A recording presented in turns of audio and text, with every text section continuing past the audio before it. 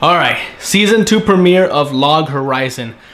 I mean, I've been busy catching up to this show because I heard about it, and I'm wondering, oh, you know, what do they do different than all the other shows that have uh, integrated, you know, people coming into the game and it becoming a reality. In this case, I love this show. I mean, my God, I've never been more invested in any show in my life.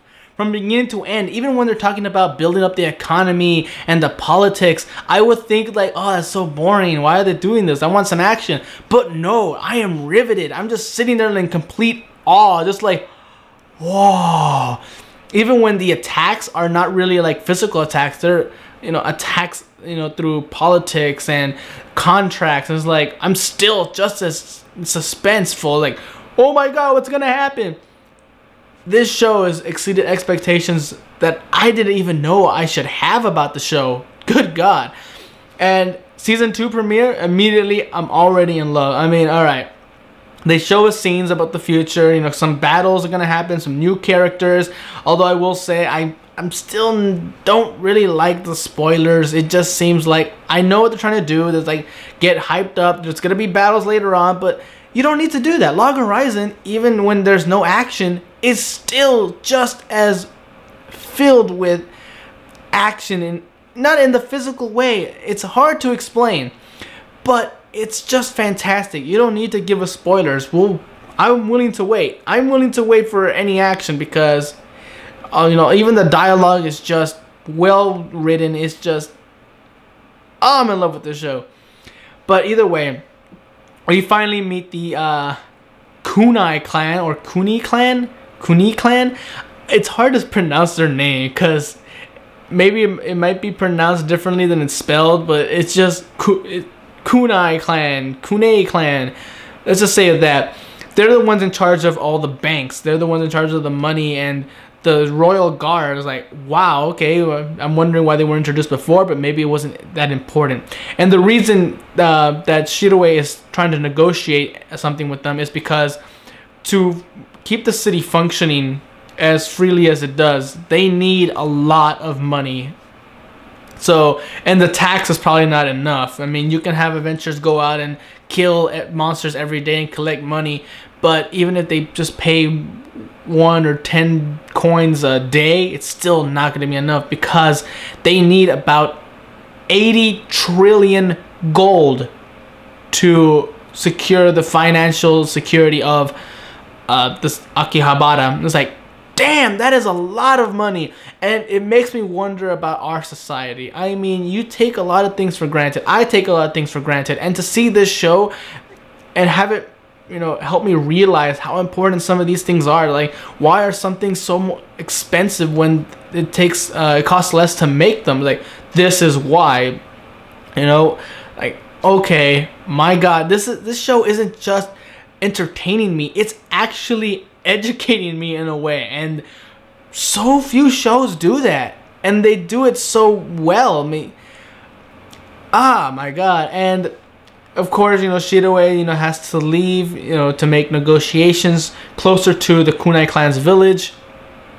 And so now, you know, and the negotiations lead to a revelation that this will probably lead to a future raid quest that requires fighting possibly a very powerful creature, maybe even a godlike being, in order to obtain endless gold, because that's pretty much what the Kunai clan gets all the gold to put into the monsters is this room, and they need an army in order to accomplish this. But Shiroe mentions we can't depend on Akihabara in this case because the South is watching them, waiting for a chance to sneak in and take over the whole city too.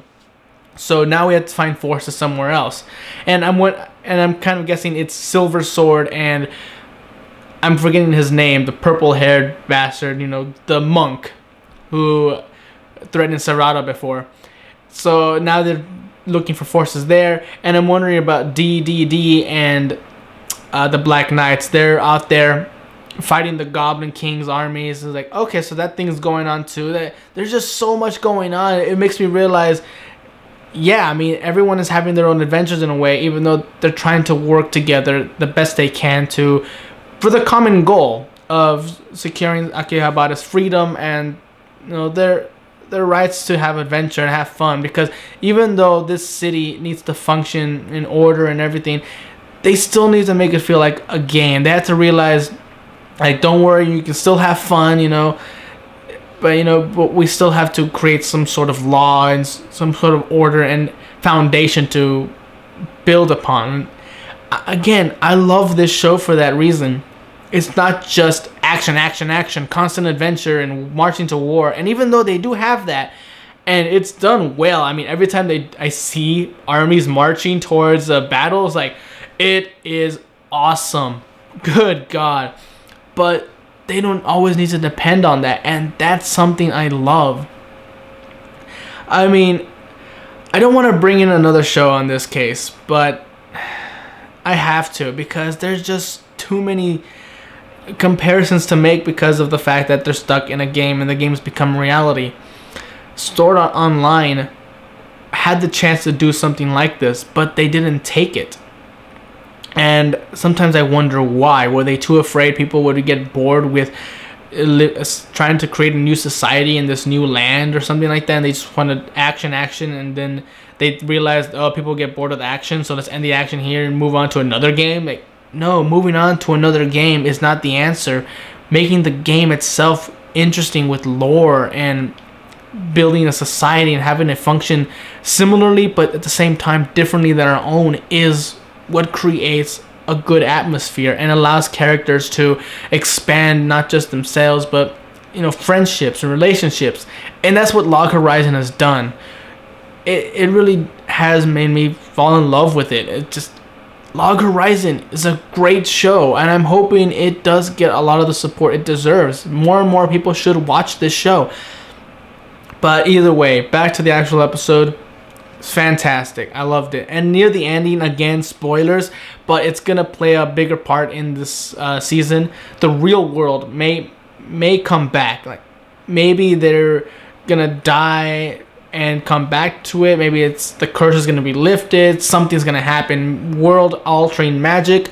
I have no idea, but it's a mystery that at one point at a certain level I am excited to find out about, but at the same time I'm a little worried because I like where things are going. There's still so much to do in this world, uniting the nation, uniting the world. And while it's true the ultimate goal should be to escape and go back to the real world, I I'd still want to stay around and fix things first. Because you never know at this point what is real and what isn't. That's kind of one of the great uh, parts about this show. At a certain point, you start wondering once you go back to the real world, well, will we, the audience, even consider it the real real world? No, at this point, it'll be the, the fake one. We'll always consider Elder Tale, the world they've been living in and fighting monsters in for the last let's say months is the real world at this point to us. So who knows? Uh, but either way, I can't wait for the next episode, and I feel like this season's gonna be the best one yet. Well, it's only two uh, seasons, but still, I mean, it's gonna be great. It's gonna be fantastic. So until then, I'm Tony Dragon. Bye bye.